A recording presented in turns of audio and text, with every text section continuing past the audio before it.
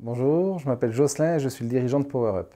Alors le premier défi, c'est de pouvoir rentrer en production cette année avec les produits que nous développons depuis plus de deux ans avec une équipe d'une quinzaine de personnes. Donc nous avons des ingénieurs en électrochimie qui est le cœur de notre métier, en logiciel embarqué, en informatique, en hardware.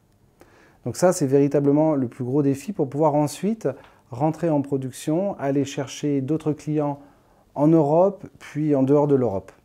Ensuite, suite à la dernière levée de fonds que nous avons effectuée avec EDF, nous travaillons sur euh, les systèmes de stockage beaucoup plus importants. Donc là, nous sommes sur des conteneurs de stockage pour les énergies renouvelables, le stockage des énergies renouvelables, avec un objectif de pouvoir rentrer en production dès le début de l'année 2023.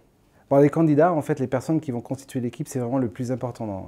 on, a, beau avoir euh, la plus belle technologie du monde, c'est l'équipe qui va faire la force du produit.